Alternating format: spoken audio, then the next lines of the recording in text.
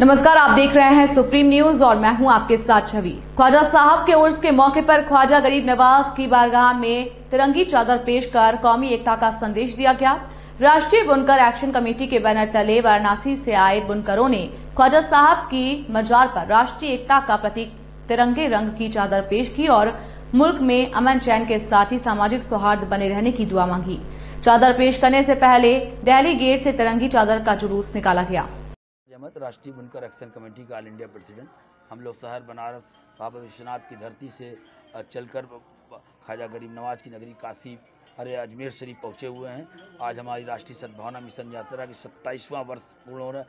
हर वर्ष की तरह इस वर्ष भी तिरंगी चादर लेके हम लोग रवाना हुए हैं। हमारा मकसद जो है देश की एकता अखंडता को मज़बूत करने और देश को अमन और, और शांति का पैगाम देना मकसद है। और देश को तोड़ने वाली ताकत को करारा तमाचा देना।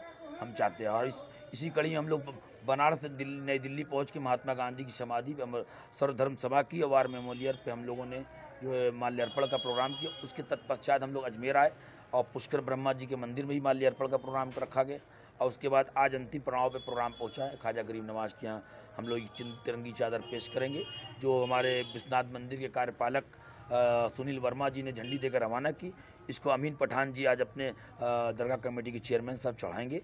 और उनकी सदारत में चढ़ेगा और इस उसके बाद हमारी प्रार्थना सभा होगी और दुआखानी होगी और उसमें देश की एकता अखंडता के लिए दुआखाना दुआखानी की जाएगी। अमन शांति बनी रहे देश में सौहार्द बना रहे और देश की तोड़ने वाली ताकत में नस्ते नाबूद ये हमारा मकसद है। सरफराज अहमद राजीव।